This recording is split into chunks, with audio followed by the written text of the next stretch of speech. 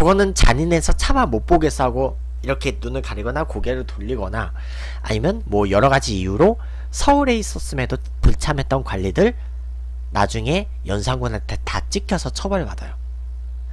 사실 그래서 그 이극돈도 사화 이후에 잘린 거예요. 음. 그래서 이극돈도 잘리고요.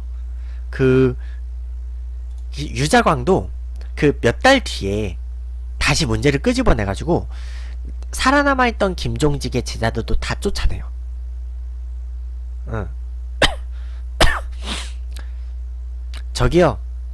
나는 전라도에서 안 태어났거든요. 근데 그 유자광들이 원래 다 숙청하려고 했는데 그 뭐냐 노사신이 일부 그 사람들 변호를 했어요. 그래서 이극돈은 결국 복권을 시켜요. 근데 이극돈이 무사화가 일어날 때쯤에 관등이 종일품 그 좌찬성이었거든요. 종일품 좌찬성이었는데 다시는 종 다시는 일품 관직에 올라가지를 못해요. 연상군한테 찍혔으니까 다시는 일품에 못 올라가요. 연상군이 진짜 뒤끝이 세요. 그래서 이제 무호사 때는요. 그런 대관들의 힘이 쫙 없어진 거예요. 어떻게 다에게는 연구의 결과지. 음. 근데 연상군은요. 자기는 어릴 때부터 아빠 성종이 그렇게 스트레스 받아온 거라니까 나는 나는 왕권이 강하고 싶어 해가지고 그 훈구파가 뭔가 기가 좀 센 것도 마음에 안 드는 거예요. 그래가지고 그 지어서 말하는 거 아니거든요. 그래가지고 연산군은 사실 훈구들이 무호사화 때 자기 편을 들어주긴 했지만 쟤네도 마음에 안 드는 거야. 너무 기가 세니까. 지어서 말하면 내가 개웃긴 게 아니고 방송을 안 하겠죠. 채팅 책임 갈게요. 음. 그래서 그 이세좌라는 신화가 있어요. 근데 연산군의 그 왕이 그 술 따라주는 거 있잖아요. 그 담예술 그 마시다가요. 실수를 했어. 몸개그를 해가지고 문제는 그 술잔을요. 연산군의 옷에다가 쏟은 거야. 연산군 빡쳤죠. 음, 연산군 빡쳤어요. 그래가지고 그 승지들한테 말해가지고 이세자를 국문을 해요. 술자리에서 실수한 것 같다가. 진짜 조선시대에는요 신류가요 술자리에서 왕한테 실수해도 찍히는 세상이에요. 술자리에서 실수해도 찍히는 거야. 진짜 조심해야 돼요. 그래서 그래서 4일 뒤에 이세자가 파직되고요. 그리고 5일 뒤에 그 5일 뒤에는 그 아예 저기 무안까지 유배를 보내요. 그 무안 어딘지 알죠? 그 목포 옆에 그 목, 목포 옆에까지 유배를 보내. 근데 출발한 지 이틀밖에 안 됐으니까 당연히 한 저기 수원까지밖에 못 갔겠죠. 그런데 야, 쟤 무안 가고 있지? 쟤 저기 함경도 온성으로 보내. 목포 쪽까지 가던 애를 저기 온성으로 돌려 빠꾸, 빠꾸 시켜버려. 함경북도 온성으로. 진짜 막 그렇게 유배지를 막 수시로 막 바꿔요. 근데 문제는 왜 그러냐면요.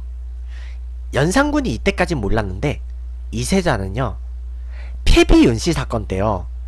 윤씨한테 사약을 사약을 내리노라 하는 그 명령을 집행하러 갔던 인물이에요. 이세자가 사, 그 사약을 집행하러 갔던 인물이야. 피비윤 씨한테. 그래가지고 그 그거를 연상군이 아직은 모르다가 몇 달 뒤에 풀어줘요. 근데 그 뭐냐 몇 달 뒤에 이제 연상군이 이제 세자빈 세자비를 세자비를 그 간택하는 그 명령을 내려요. 근데 그 경기도 관찰사 홍기달이 그 자기의 손녀를 입궐시키라는 왕명을 거부를 해요. 이런저런 이유로. 그래서 그 해명하는 글을 썼는데 연산군이 야 감히 짐 과인이 세자비 세자비를 뽑겠다는데 응? 뭐냐 규숙감을 입궐시키라는데 안 보내 해가지고 걔도 걔도 잡아들이고 그때 풀어줬던 이 세자도 다시 잡아들여요. 음. 하여간. 그리고 피비윤 씨를 모함했다는 이유로 그 엄귀인 정귀인을요 정귀인의 두 아들들을 데려다가요 그 귀인들의 얼굴을 씌워놓고 자기 엄마들을 때려 죽이라고 그래요. 진짜로 때려 죽였어. 그래가지고. 누군지 모르니까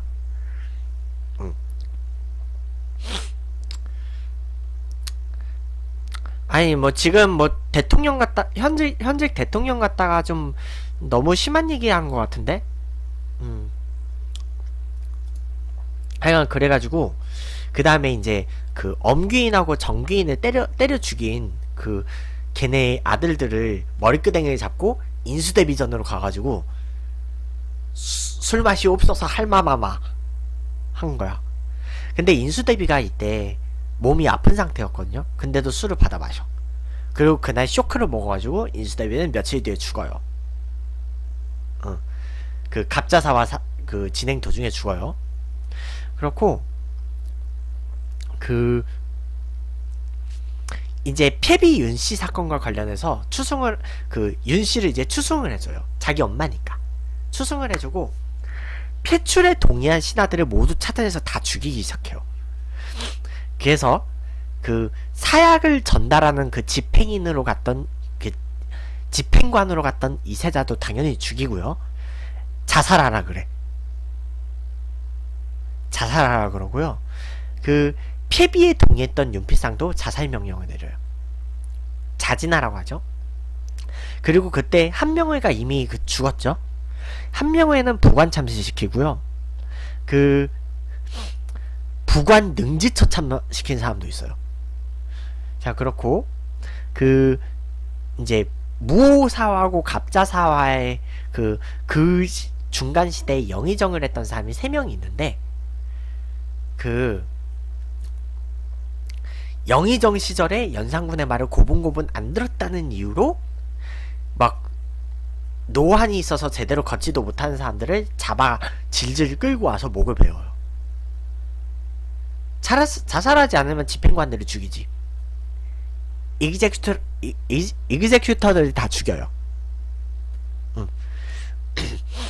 하여간 그 피비윤 씨 사건 때 그러니까 갑자사화는요 연상군한테 밑보였던 훈구파들도 다 죽이고요. 근데 그때까지 살아남아있던 살인파들도 다시 다 또 잡아들여요. 그래서 살인들을 또 숙청을 해요. 그러니까 살인들은요 갑자사화 때는 사실 살인들이 희생당한 사화라기보다는 그냥 검증정이에요. 그러니까 여러분들 그 마트 가면 그 라면 그 번들로 그 판 거 있잖아. 거기에 그 플러스 한 봉지 더 주는 거 있잖아요. 라면. 그런 것처럼 덤증정으로 당해요. 그냥 얘네들 당하는데 어 얘네들 아직 살아있네? 얘네도 없애 이렇게 된 거야. 그래서 이때 이제 그 갑자사화 때는요. 이때 살아남은 사람은 폐비에 반대했던 임사홍. 임사홍이 이때 이제 좀 뜨는데 임사홍은 중종반정 때 제거돼요. 자 이제 그 살인에 있어서 진짜 살인들을 완벽하게 제, 제거할 것을 목적으로 한 사회는 김효사화 세 번째 사화예요. 그 김효사화 이 조광조라는 인물을 없애기 위해서 이제 그 기묘사가 일어나는데요. 어, 이제 연산군이 축출된 이후로 진짜 완전히 꼭꼭 숨어있던 살인들이 다시 등용이 돼요. 왜냐면 중종도 중종도 마다들이 아니잖아요. 그리고 중종도 약간 좀 정통성 문제에 좀 계속 그 자존심이 사, 상해요. 그러니까 약간 그 심리적 콤플렉스가 있어요. 그렇다 보니까 좀 이제 세력 견제를 위해서 그 살인들을 다시 데리고 오는데 조광조는요 진짜 조선을요 성리학 사회로 만들고 싶어 했어요. 그래가지고 사실 그래서 가장 강하게 그 이제 내세웠던 게 소격서 폐지였어요. 약간 소격서가 도교 성격을 갖고 있는 그 기관이었거든요. 거기를 없앴다가요. 근데 문제는 소격서는 나중에 다시 부활해요. 나중에 다시 부활했다가 임진왜란 때 없어져요. 그러니까 임진왜란 때 기관을 폐지한 건 아닌데 그 시설이 망가진 거야. 임진왜란 때 시설이 망가져요. 그래서 없어져요. 그렇고요. 음, 그래서 이제 그 조광조 같은 경우는 그러니까 소격서라고 하는 거는 약간 도교식 제사를 지내는 곳이에요. 약간 도교 신앙이 약간 좀 섞여 있는 데예요. 근데 그, 그 이전까지 그런 뭔가 뭐 그런 게 왕들도 계속 뭔가 좀 써먹었던 데예요.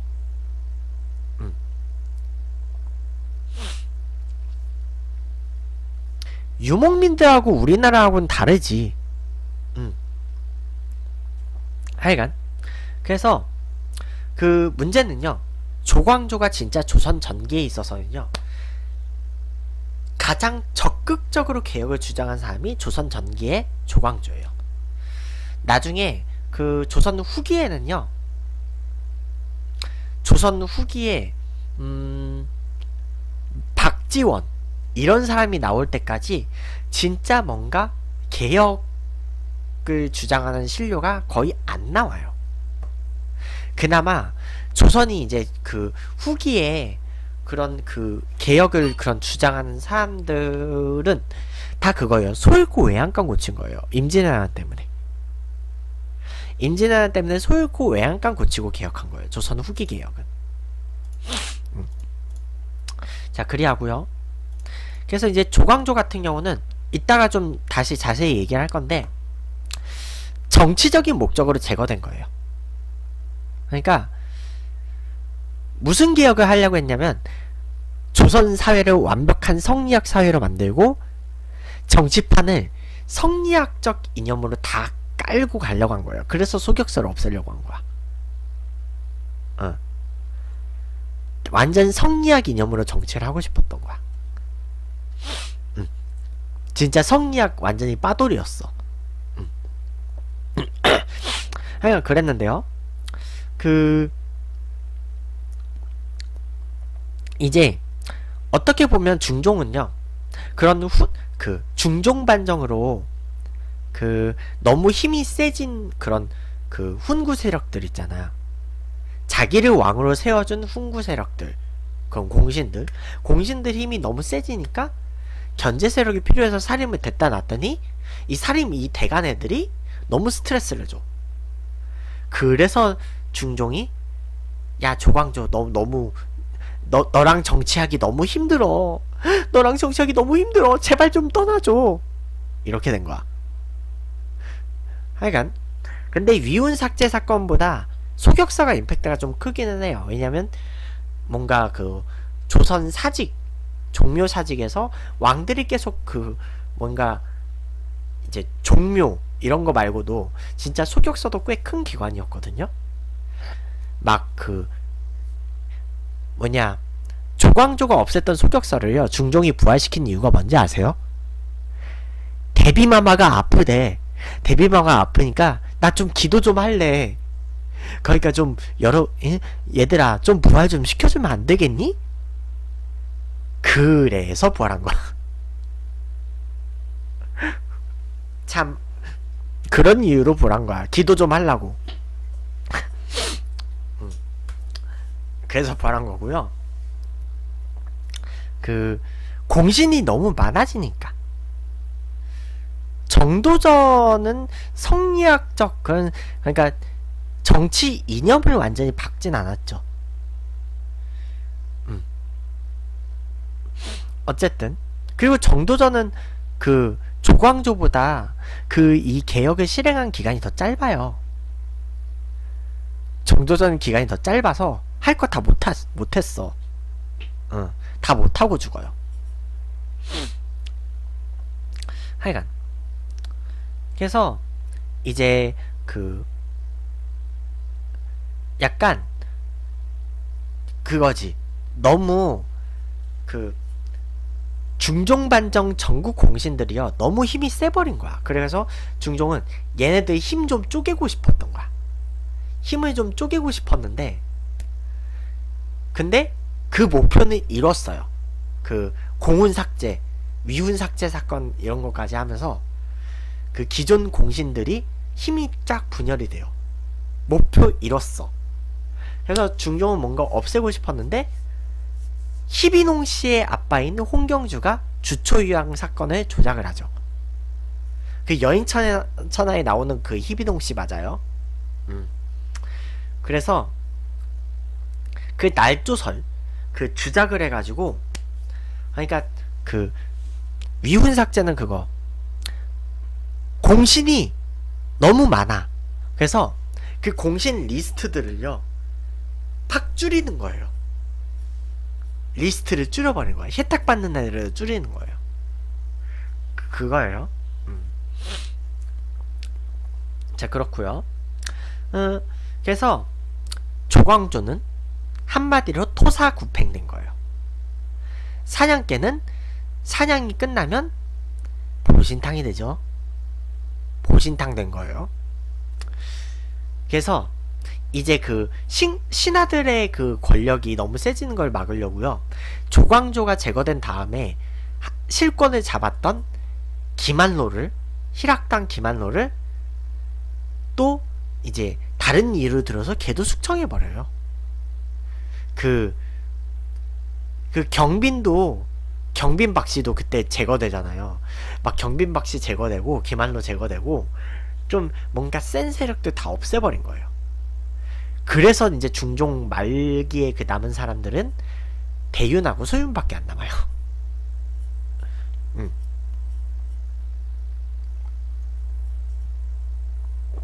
그렇고요. 그래서 이제 조광조가 죽은 다음에 나중에 그 시대적 대학자로는 그 이황하고 이이가 등장을 하는데 조광조만큼 뭔가 개혁을 강렬하게 주장하진 않아요.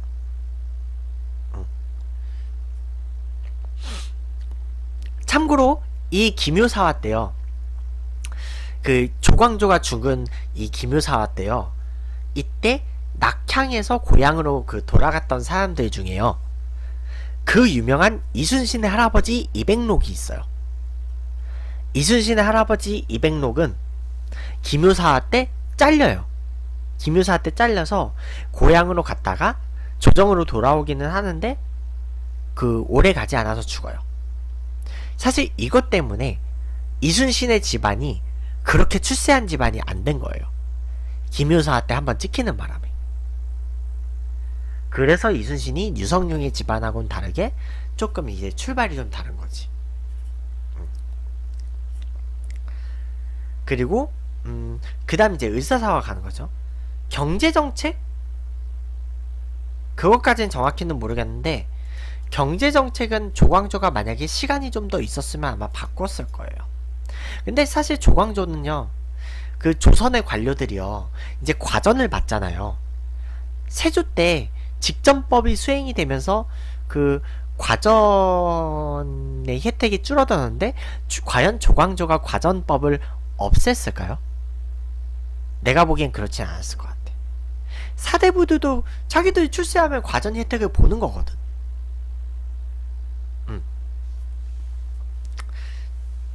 경제개혁은 모르겠어요. 자 그리고 을사사화는요 사실 살림을 찍어내려고 한 목적이 아니에요. 살림을 찍어내려고 하는 게 목적이 아니고 음 집안 싸움이에요.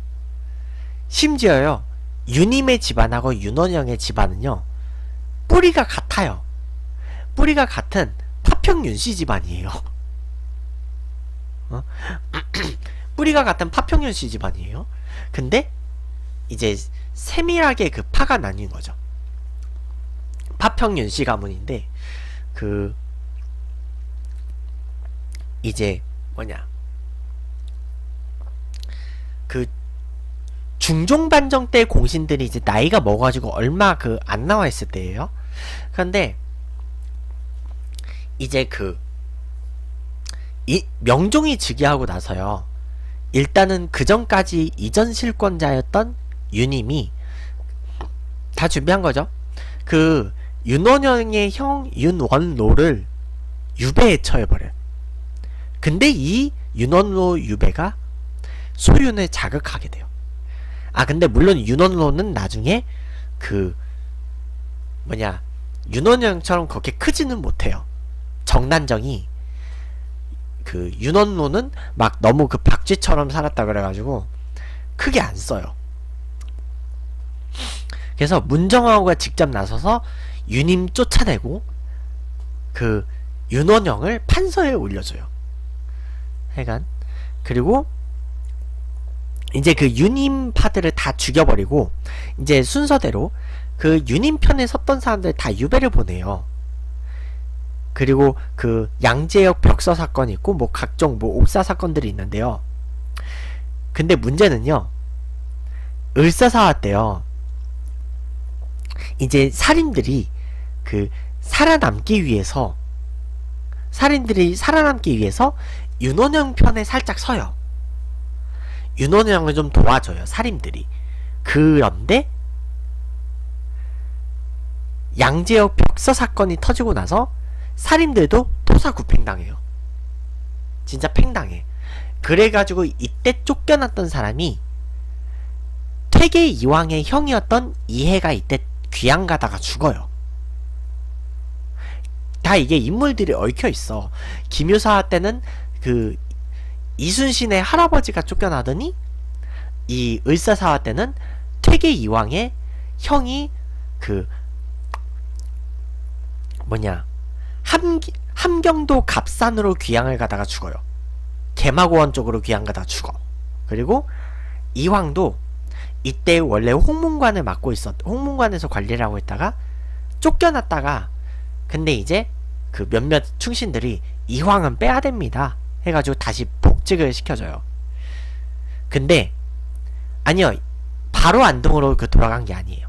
근데 때마침 이황이 원래 장가를 두 번 가거든요. 이왕이 그 이왕의 후처가 이때 죽어요. 그래서 이왕의 후처가 죽는 바람에 그 부인의 초상 치르러 간다고 그거를 핑계 삼아서 고향으로 돌아가 버려요. 응. 그러니까 부인이 죽은 걸 핑계 삼아서 고향으로 가버려. 그냥 그렇고요. 음. 근데 이 을사사화 때 물러났던 사람들이요. 선조시대 때 다시 다 돌아온다? 이왕도 선조시대 때 잠깐 그 관직에 갔다 와요. 근데 그때는 이제 나이가 너무 들어가지고 그 오래는 못하고 다시 내려와. 음.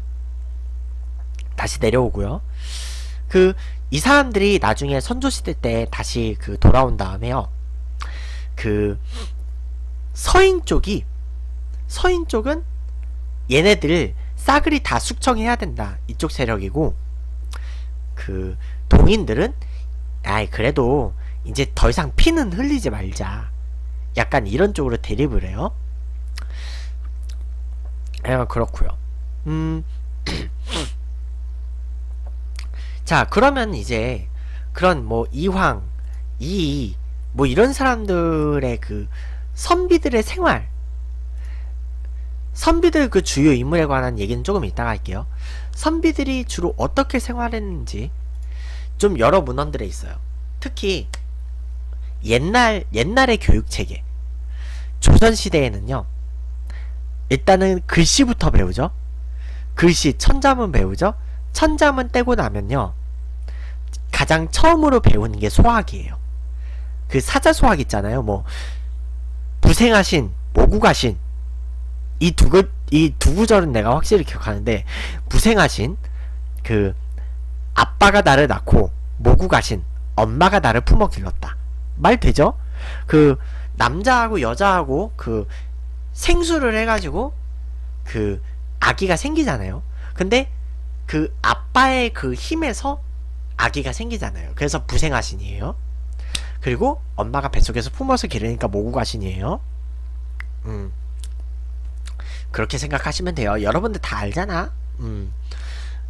그런데 네, 그 부부 관계를 좀 약간 순화시켜 가지고 생수라고 하는 거예요. 그 이게 얼마 전 그 얼마 전까지 아프리카 TV에서 금치고가 됐던 그 단어이기 때문에 내가 생수로 순환을 시키는 거예요. 산다수 마시면 애 낳냐고?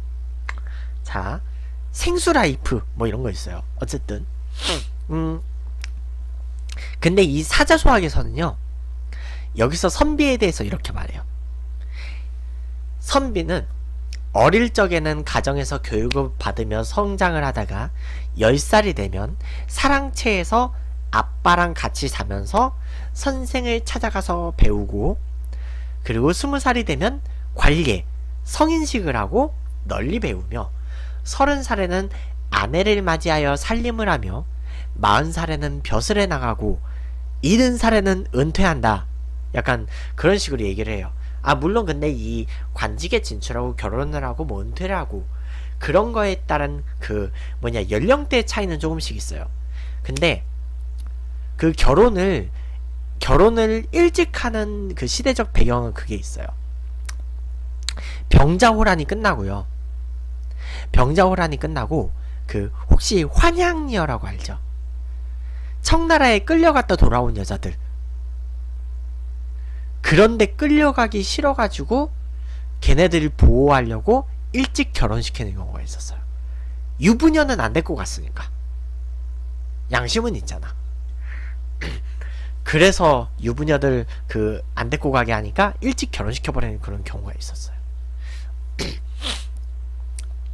그러니까 그런 게 있었어요. 아니지, 조, 지금 대한민국은요. 그 대한민국 결혼은 언제부터 할 수 있는지 아세요? 그 남녀가요. 남녀가 자유롭게 결혼할 수 있는 연령은 법적으로 만 20세 이상이에요. 만 20세가 되면 양가 부모의 허락이 없어도 혼인신고는 할 수 있어요. 그리고 그 만 20세가 안 됐는데 혼인신고를 하려면요. 남자는 만 18세가 넘어야 되고 여자는 만 16세가 넘어 16세가 넘으면 양가 부모의 합의가 있으면 혼인 신고를 할 수 있어요. 그러니까 그, 그, 그 연령대에 혼인 신고가 법적으로 안 되는 연령대에 애를 낳으면 동생으로 신고해야지 뭐 어쩌겠어. 그 개그맨 그 정만호 씨가 그래서 자기 원래 첫째 아들이 법적으로 동생으로 신고가 돼, 돼 있었대요. 너무 일찍 나와가지고. 그냥 그렇고요. 어, 하여간 뭐 그런 얘기 했어요. 그 연령대 차이가 조금 있지만 사실 이 선비들의 커리어에서 그 중요한 거는 학업하고 벼슬이었어요. 학업하고 벼슬이었는데 음 이제 선비는 한평생 학업을 중단해서는 안 되고 그 타고난 신분이 아니고 이제 학문과 수련으로 형성되는 게 선비였어요. 자, 근데 이런 의미에서 선비는 진짜 독서인이고 학자예요. 몰라 어떻게 보면 내가 이제 아프리카 TV에서 음? 내가 아프리카 TV에서 어떻게 보면 최고의 선비 방송이기는 해요. 음. 근데 그 선비가 배우는 학문의 그 범위는요. 인간의 일상생활 속에서 부딪히는 일에 마땅한 도리를 확인하고 실천을 하는 거예요. 그러니까 단순히 학문을 통해서 지식의 양만 쌓는 게 아니고 도리를, 도리를 확인하고 실천한다. 이거는 사회에 뭔가 영향을 줘야 된다는 거예요. 이거를 뜻을 펼치기 위해서 벼슬을 나가는 거예요. 음, 사회를 이렇게 바꾸기 위해서. 음. 자, 대학에서 사, 그 사서오경 중에 나오는 그 대학 거기서는요 선비는 자신의 내면에 주어진 밝은 덕을 그 밝히는 일하고 백성하고 친애하는 일에 사회적 과제가 필요해요. 사회적 과제 수행을 위해서 벼슬에 나가는 거야.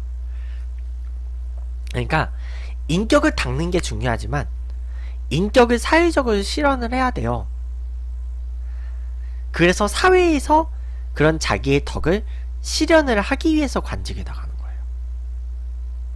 그래서 정책을 펼치는 거고.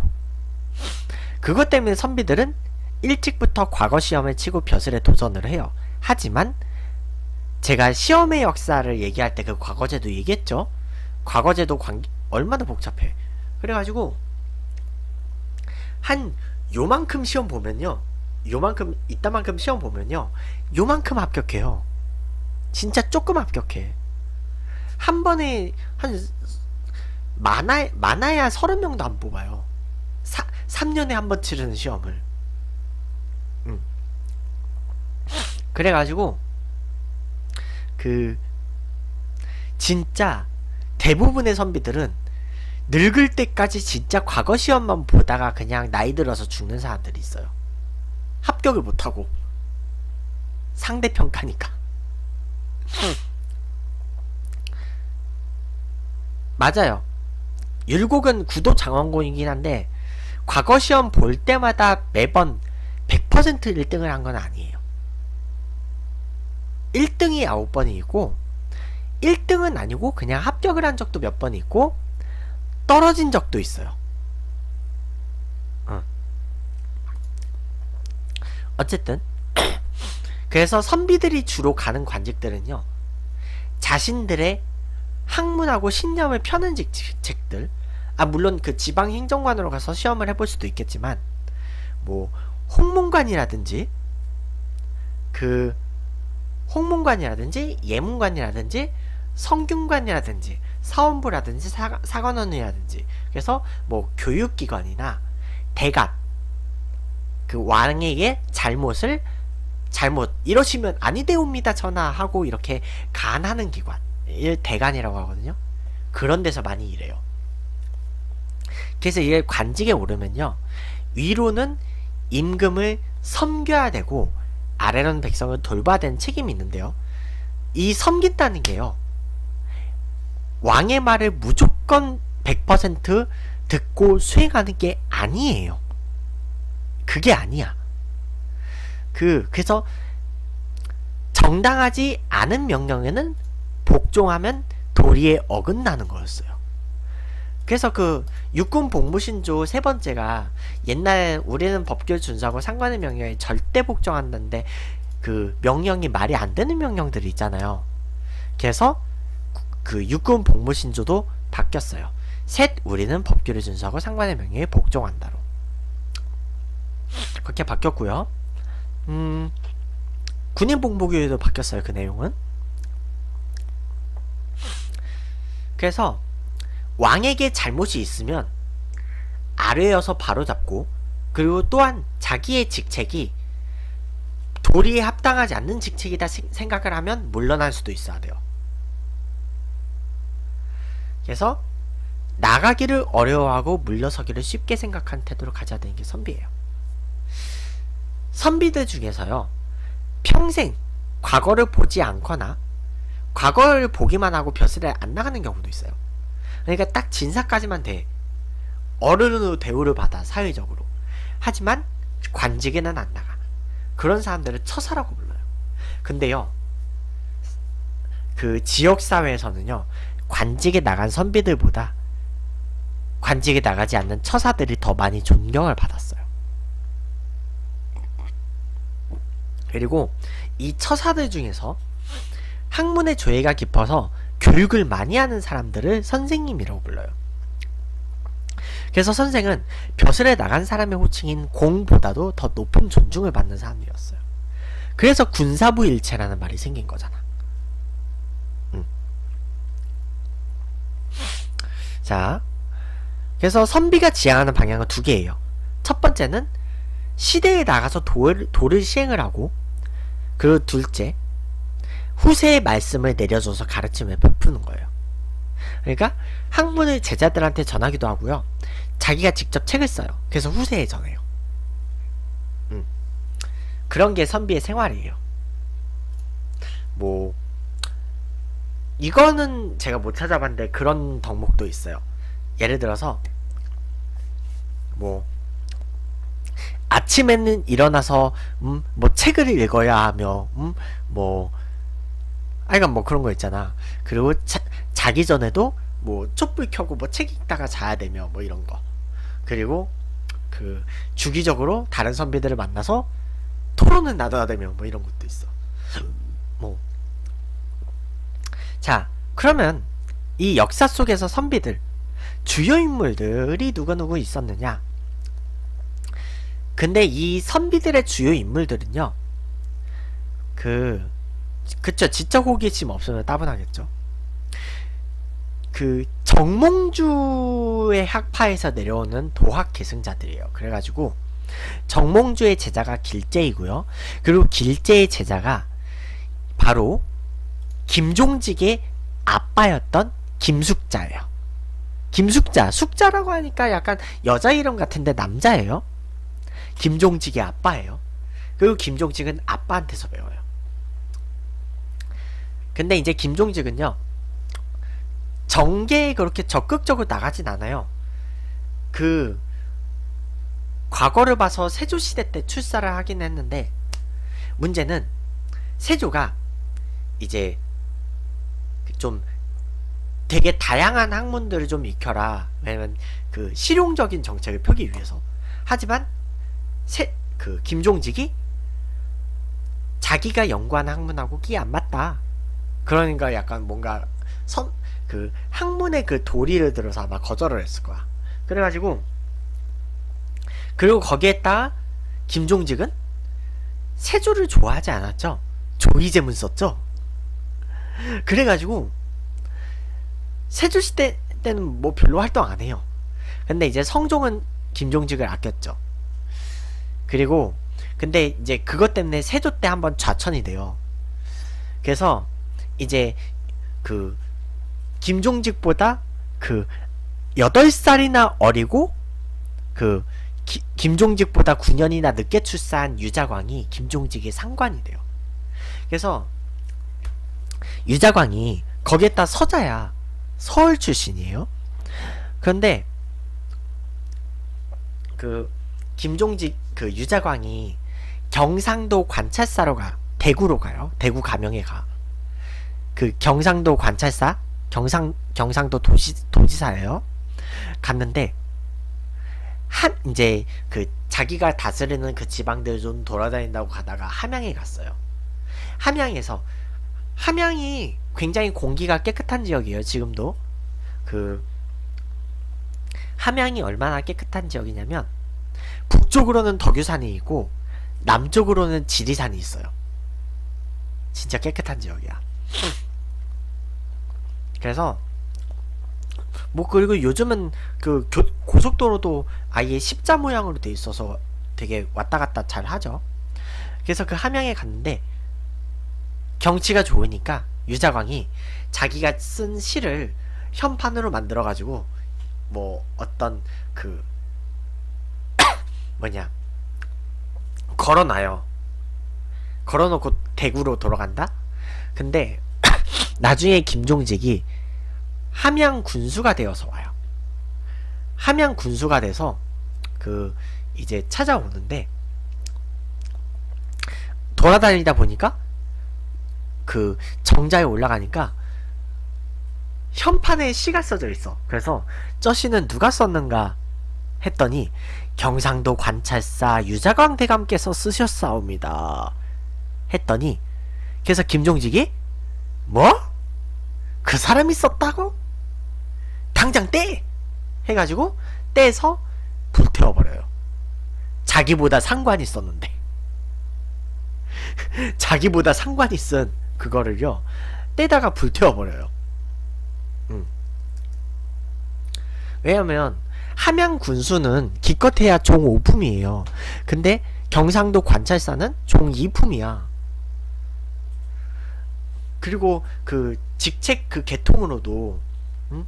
뭐 현감, 군수, 목사, 부사 이런 애들보다도 위에 있는 게 그 관찰사예요. 더 위에 지휘 계통으로 위에 있는 게 관찰사야.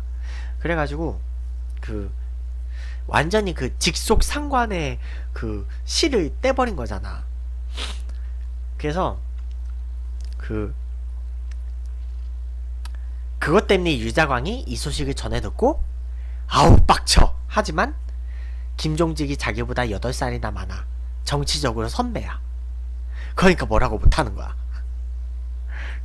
그래서 그 나중에 근데 유자광이 그 남이의 시를 그 써놨다가 그 남이를 그걸 갖다가 죽여버리잖아요.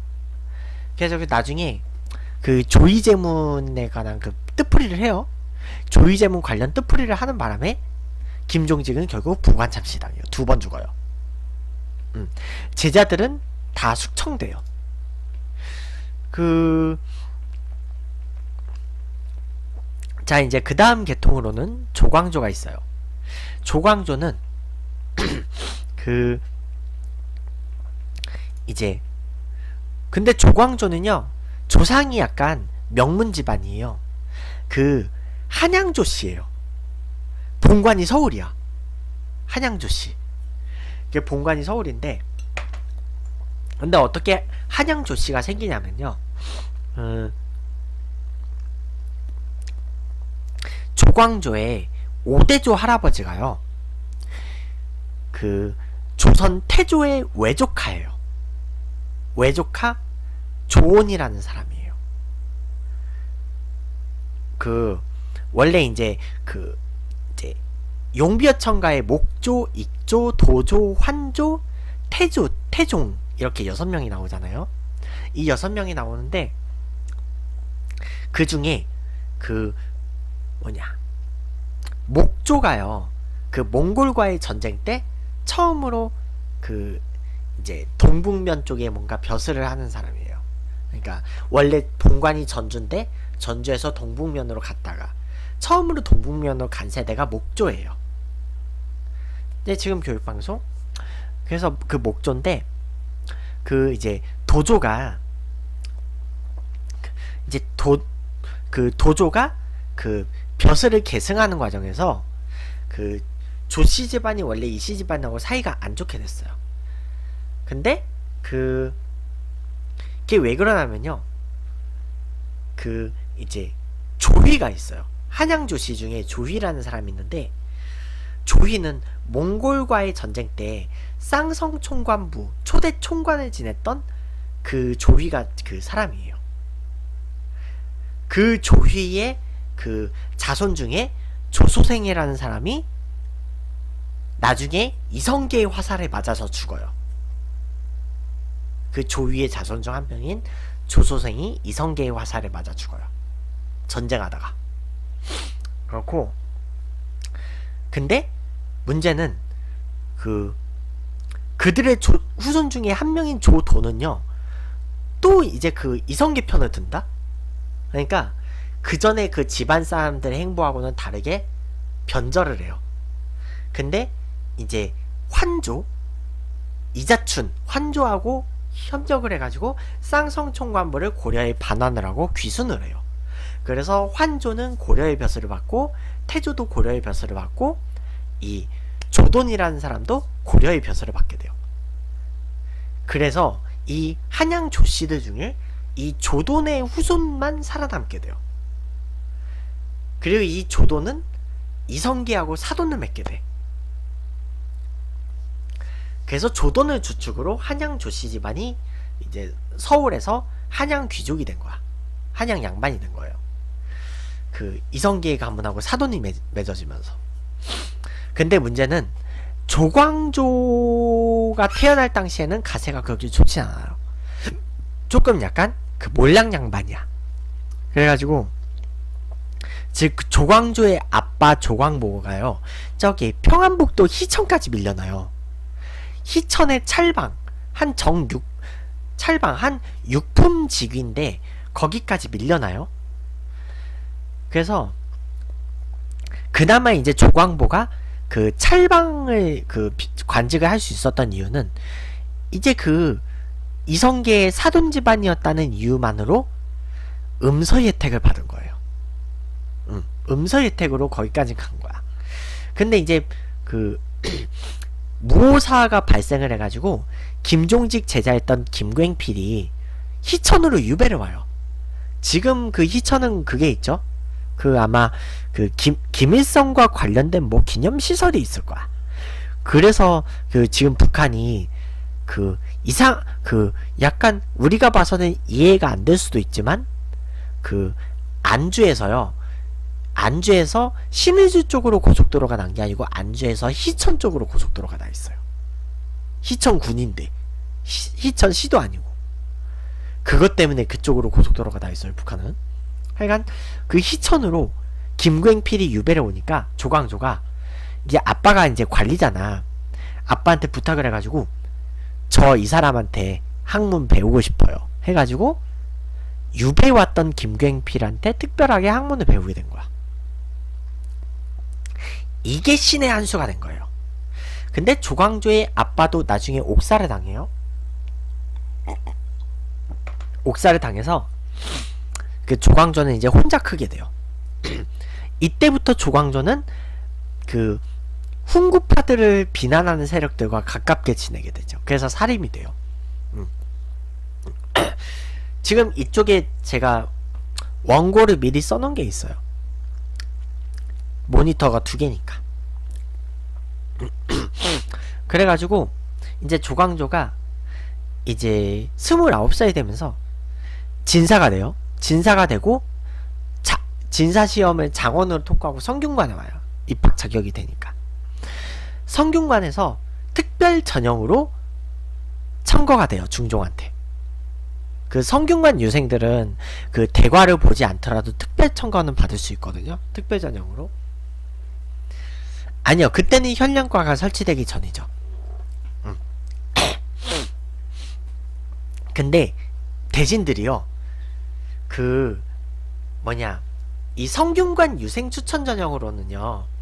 그 받게 될 반직이 관직이 참봉, 별좌 이런 거밖에 못 받는 거야. 그러니까 신하들이 조광조 이 학자의 영향으로는 이 정도로는 부족하옵니다.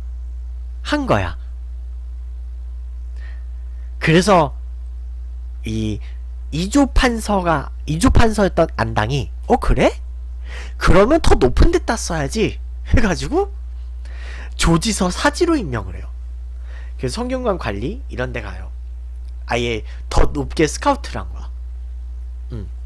원래 관례가 그게 아닌데 원래 관례는 기껏 좀 특별 전형하면 한 6품 정도 가는데 그 원래 그 과거 시험에서 문과 시험에서 장원급제한 사람이 6품부터 시작해요. 음. 어쨌든 그래서 이제 김굉필은 죽었는데 이제 김굉필의 동문들하고 다른 제자들도 살아 있었어요. 그래서 조광조는 이 사람들하고 이제 본격적으로 교류를 시작을 해요. 근데 조광조하고 남곤이요. 이제 길거리를 걷다가 젊은 여자들이 지나가는 거야. 아가씨들이 지나가니까 근데 조광조가 오늘 척준경은 오늘 시대적 배경이 안 맞아서 얘기하지 않을 거예요. 조광조가 이제 젊은 여자들이 지나가니까 아무래도 조광조도 남자잖아요. 고자는 아니잖아. 응? 조광조가 고자는 아니에요. 그래가지고 이제 여자들이 지나가니까 어? 어? 와 여자다 이쁘다 뭐 이러면서 쳐다본 거야. 근데 옆에서 지나가던 남고는요 여자들이 지나가든 뭘 하든 그냥 가던 길만 계속 간 거야. 눈 하나 그 돌리지도 않고. 사실 저도 가끔 길거리에서 여자 사람들 막 지나가다 보면 가끔은 어 좀 눈에 띄는 사람들 있잖아요. 뭔가 좀 특별한 옷을 좀 입었다든가 아니면 되게 아니면 다른 사람들은 뭔가 좀 장식이 많이 돼 있는 뭐 되게 막 여러 가지 색깔 돼 있는 옷을 입는데 어떤 사람은 되게 단색 티셔츠를 입고 가. 그러면 저 사람은 왜 저렇게 혼자 혼자 튀는 옷을 입어? 약간 그렇게 쳐다보잖아. 뭐 아니면 뭐 얼굴이 좀 이쁘다든지 뭐 몸매가 좀 이쁘다든지 한 사람들 다들 한 번 좀 쳐다보잖아요. 여러분들도. 음. 그러면서 어? 어? 저기 어? 어, 이 역캠이 이쁘네 하면서 들어가서 별풍선도 좀 쏴주고 그러잖아요. 뭐 여러분들. 하여간 조광조도 그랬던 거야. 그랬는데 이제 집에 가서 그걸 자책을 한 거야. 어우, 내가 왜 그랬지, 내가 왜 그랬지, 그런 거야. 자기는 진짜 나는 선비인데, 응? 그렇게 길거리에서 여자들한테 눈이 팔려서, 응? 내가 왜 그랬을까 했는데, 조광조의 엄마가 하는 말이, 아들아, 그건 지극히 정상적인 거야. 하고 한 거야. 그리고, 오히려 남곤을 경계해라. 아니, 뭐, 너도 젊은 남자고, 응? 원래 젊은 남자들이 좀 약간 좀 피가, 피가 끓잖아. 응? 여자들 좀 쳐다볼 수 있는 거지. 근데 남군이 그랬다고? 남군 오히려 걔 마음 차가울 거야. 모진 사람이라서 정, 나중에 크게 되면 인정사정 안 봐줄 거다. 조심해라. 해가지고 그 조광조는 엄마의 제안으로 남곤의 집에서 멀리 떨어진 곳으로 이사를 가게 돼요. 실제로 남곤은 나중에 피도 눈물도 없는 정치인이 되죠. 그 좀 이따가 얘기할 거지만요. 정구하고 정인홍도 그 남인 학자하고 북인 학자거든요. 그 도산서당에 갔다가 비슷한 에피소드가 있는데 그거 얘기는 이따가 할게요. 어쨌든 그래서 이제 조광조가 출사를 했는데 그 뭐냐 조광조가 폭풍 승진을 할 수 있었던 배경이 중종 초기에 계속 막 대관들이 막 얘 안 돼, 얘 안 돼, 얘 안 돼 하다가 계속 찍혀서 교체된 거야. 그러니까 국가 인재풀이에요. 더 이상 추천할 사람이 없는 거예요. 그래서 거의 신진급 관리였던 조광조가 대감직에 들어가는 거야. 하여간 그렇고요. 하여간 조광조는 주초유양 그 주, 주작 사건으로 제거가 되죠. 자, 그 다음 시대로 갈 사람이 바로 요 사람이에요. 천원짜리 지폐의 모델인 이황이죠. 천원 지폐의 모델인 이황. 여러분, 이제 나와요. 이황의 생수라이프. 이황이 얼마나 정력가였는지. 어그로를 위해서 살짝 제목을 바꿔보기엔 근데 너무 그건 너무 저돌적이다. 그 근데 이황 얘기하기 전에요. 이황하고도 연관되는 인물이 있어요. 주세붕. 영주에 백운동 서원을 세웠던 그 사람이에요. 그 이제 주세붕은요. 이제 그 기묘사 때 조광조가 실각한 이후로요. 김한로한테 찍혀요. 그래서 지방으로 좌천된다. 그래서 곤양 곤양을 곤양 군수로 갔다가 이제 풍기 군수로 갔는데 이제 그 백운동 현재 위치는 영주예요. 그 백운동에다가요. 그 이제 원래 이 주세붕이요. 안양빠예요. 안양빠돌이야. 그래가지고 자신이 존경하는 유학자 안양의 사당을 만들어요. 사당을 만들고 아예 서원을 서원을 세워가지고 최초의 서원을 만들어요. 그 서원을 만들어서 그 학생들을 양성하기 시작해요. 그래서 좀 굉장히 이미지가 좋은 관리예요 주세붕이. 음. 그래서 나중에 주세붕은 황해도 관찰사로 가고 나서도요 해주에다가 수, 그 문헌서원을 세워요. 음. 그 정도로 좀 그 좀 좋은 일을 많이 하고 죽어요 주세붕은. 자 그리고 주세붕이 세운 이 백운동 서원은요 이제 이황이 이황도 나중에 풍기군수로 와요. 풍기군수로 와가지고 그 여기에 대한 보다 적극적인 지, 국가적인 지원이 필요하다 해가지고 요청을 해요. 그래서 명종이 순수 소수서원이라는 이름을 내려줘요. 지금 이제 영주시의 그 행정구역 안에 있어서 영주 소수서원이라고 부르는데 이황이 이거에 또 업적을 세우죠. 음, 자 퇴계 이황 천원권 모델이에요. 음, 안동 출신이고 그 진사 이식의 팔남매 중 막내로 태어나요. 원래 그 뭐냐 근데 이왕 이왕의 그 팔남매 중에요. 그 먼저 태어난 그 아들 3명하고 딸 1명은요. 이제 첫 번째 그 의성 김 씨의 그 자녀들이에요. 근데 이제 이식이 좀 일찍 사별을 해요. 그래가지고 이식이 춘천 박씨, 박씨의 딸하고 새 장가를 들어요. 그래서요, 여러분들 혹시 춘천에 춘천에 태계동 가보신 분 있어요? 그 춘천 태계동이 거기서 따온 이름이에요. 이황의 외갓집이 그 춘천 태계동이라는 거예요. 이황의 외갓집이. 음. 춘천 태계동이에요. 뭐, 그 중, 그 중앙고속도로로 그 연결돼 있잖아요. 하여간 그렇고요 그래서 그 이제 이, 이 시기 이 시기 세 장가를 들어서 다시 아들 4명을 낳았는데 그 4명 중에 막내로 태어난 사람이 바로 요 이왕이에요. 근데 이왕이 주, 태어나고 나서 얼마 안 돼서 이번에는 아, 음. 아, 그렇고요. 음.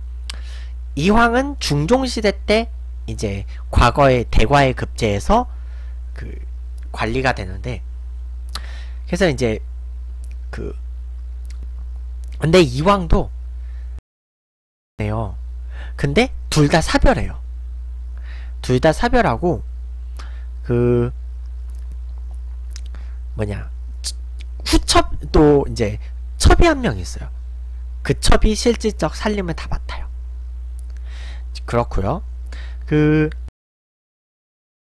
뭐냐 을사사화 때 찍혀서 그 찍, 찍혀서 약간 그 좌천된 상황이었는데 마침 그 후처였던 권씨 부인이 죽어요. 그래서 고향으로 돌아가서 쉬던 중에 단양 군수를 그 거치죠. 그리고 이제 그 풍기 군수로 있을 때 백운동 서원을 소수 서원으로 개칭을 해요. 소수 서원을 개칭하고요. 그래서 소수 서원은 조선 최초의 사익서원이 돼요. 음. 사익서원이 되고 그 이제 이황은 그 길을 이끄는 일을 그 부각을 시킨 거예요. 주리론의 뼈대가 되죠. 음. 자, 그런데요. 이황은요. 이제 여러분들 그 여기서부터 약간 좀 그거예요. 그 이황이 남녀 관계를 굉장히 중요시했어요. 그 첫째 부인인 허씨하고 이제 결혼을 해요. 허씨하고 결혼해서 아들 두 명을 그런데 그 이황이 좀 몸이 좀 많이 약했나 봐요. 아무래도 그 뭐냐 팔남매 중 이왕이 팔남매 중 막내거든요. 그 팔남매 중 막내였고 그리고 아빠가 일찍 죽어가지고 되게 가난하게 커요. 근데 이제 그 허씨하고 결혼을 했는데 이제 그그 그 시대에는 처갓집에 가서 결혼을 하잖아요. 허, 처갓집에 가서 결혼해서 첫날 밤을 보내는데 첫날 밤을 보내는데 이제 음, 첫날 밤에 뭐 이렇고 이렇고 이렇고 아. 다음날 이황의 장모가요. 이제 이황이 사위가 몸이 약하니까 그래서 이제 자기 딸한테 물어본 거야 장모님이 야, 야 사위 어, 사위 지난 밤에 어떻 어떻다니 했더니 그 저 생방송이고요. 그래서 허씨 부인이 이황의 그 뭐냐 그 밤 그 밤솜씨 그 밤일 그 이왕의 그 밤일에 대해서 아우 엄마 말도 마세요. 짐승이에요 짐승. 짐승이란 게 이렇게 해버린 거야. 정력가였다는 거죠? 음 몸은 약한데 그 일에는 낮저밤이었던 거야. 이황이 낮저밤이었던 거예요. 그래서 어쨌든 그래서 이제 27살의 첫 번째 부인하고 그 사별을 하는데 그때 이미 아들이 둘이었어요. 아 물론 이제 허씨 부인은 그 둘째 아들을 낳고 한 달 만에 죽어요. 아예 그렇게 그 완전히 여색을 밝히고 그런 게 아니고 그러니까 여색을 밝힌 거는 아니고 부인하고의 그 부부 관계